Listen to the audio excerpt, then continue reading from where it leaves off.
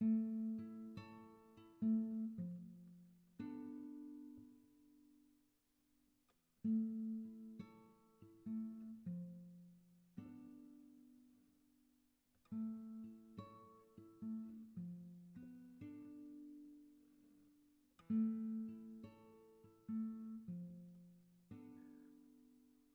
is a time of change. And we've all known that since we were kids. But it's so clear in a forest garden when you're surrounded by hundreds of species, each with their own cycle and time. I used to think there was a moment in every year where you could blink and all the leaves would just drop out of the sky, but there's a long progression before that final ballet of color and movement, where every sort of leaf that began the year fresh and glowing has turned haggard and coarse.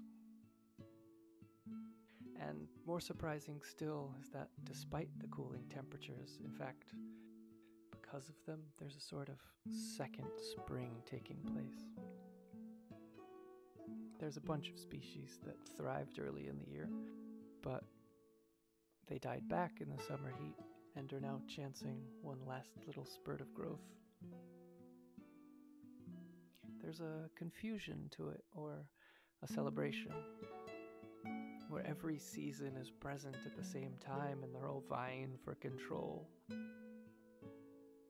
There's the last throes of summer stored in all variety of fruit and nuts, and there's a looming winter in the weeks on end of rain and the few trees who've already lost their leaves. And there's also this coziness of spring growing up everywhere around you. And in the tension between the seasons this year, storms came and changed our skyline. The Empress tree at the center of our land, the tallest tree we'd ever planted, has split in half it fills me with all sort of emotion and thoughts that I can only really describe as nature's answer to a debate we've been having for a few years about whether or not to prune her. Choice made. When we planted her, we hadn't really realized how fast she was going to grow, and now years before we thought it would be a problem. She's been mm. shading out my favorite part of the garden where it's been getting harder and harder to grow certain species or have certain fruit ripen. I knew that on some level that at some point we'd probably have to prune her, but she was so beautiful. I couldn't stomach cutting a branch, but thanks to that choice or lack of a choice, when the winds came, she was a sail that took on the brunt of that force. And she's got quite soft wood, brittle, in fact, so she cracked. While 20 meters away, her sister, who was just as tall but had been pruned quite heavily just the month before, sailed through without a hitch. I guess the lesson is to let go of perfect. It's never what you expect. And in this particular case, I was holding on to the hope of that beautiful spring flower and the awe people feel when they visit and they can come sit beneath her crown and I can say that she's 18 meters at last count, and then we can play the game where I ask them how old she is, and they say, hmm, 30? And I tell them, 8. And they sit there for a moment, and I can say, yep, fastest growing tree in the world under ideal conditions. Maybe perfection here is something I find a bit ugly. Cutting her down instead of letting those 18 meters of flower, maybe bringing down those trunks and branches to break them down and let her body feed the soil is actually what's perfect. I don't know. But I know is that feeding soil is a good thing. But the nature of it is so destructive. And all I can do is remember what Mufasa taught me that for one living thing to live, another living thing has to die. And you'd expect me, being a forest gardener, that most of my life is spent planting, and you'd be wrong.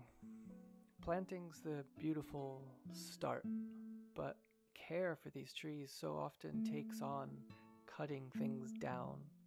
You wouldn't believe how much of my life is destruction because in our region we have one of those good problems where things grow too much, where we're top five most rainfall in Europe.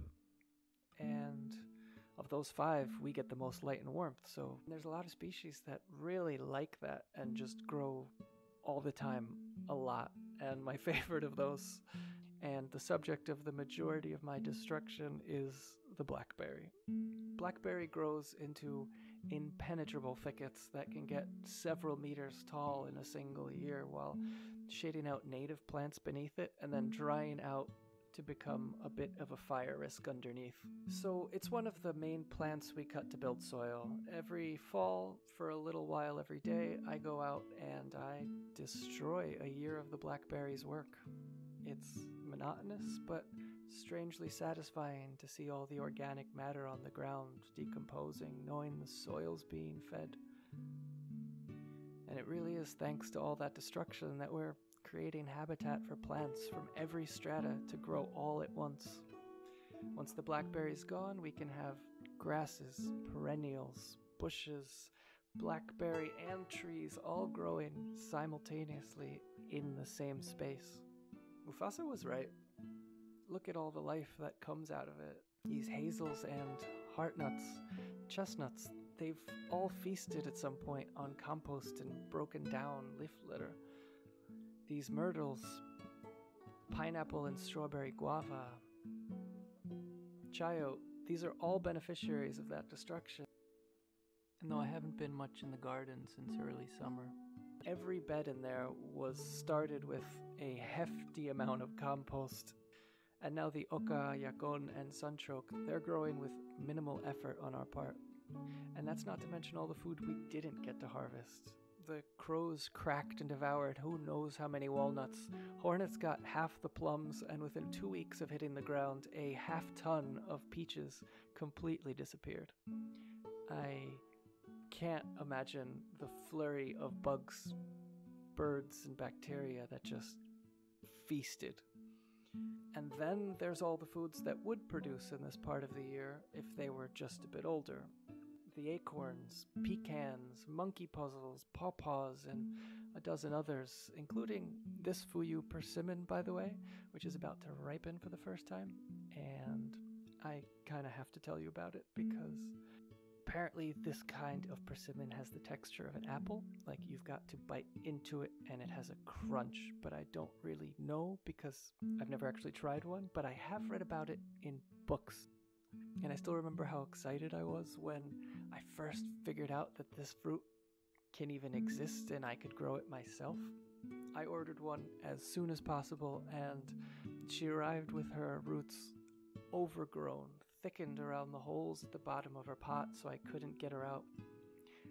I think I spent two hours in surgery with that pot with different kinds of knives and scissors trying to cut back the plastic as carefully as I could, not to damage the taproot, which I learned had grown down out of the pot and then back in through the heart of its own cluster of roots. But with my anxiety, I couldn't go slow enough and I managed to rip and mangle all sorts of roots in the process. So I've been watching, worried for years, hoping I didn't hurt her too bad. You can imagine it's quite a special moment for me to see those fruit, which will be the gift of the last days of autumn, nature's last little reward before we slip into the cold and sleep of winter. I can't say I'm really looking forward to winter this year. For some reason, I think I'll miss the warmth more than most years. So, Whenever I remember, I'm reminding myself to enjoy these last little pleasures of autumn, to look at all the flowers and wonder when they think they'll be able to set seed, to appreciate being able to escape a sun shower beneath the last leaves of autumn without getting wet, or to feel the accomplishment of processes and cycles a year in the making coming to a close and mm-hmm. reminding myself to praise this last marvel of growth before the rains and cold push us back inside.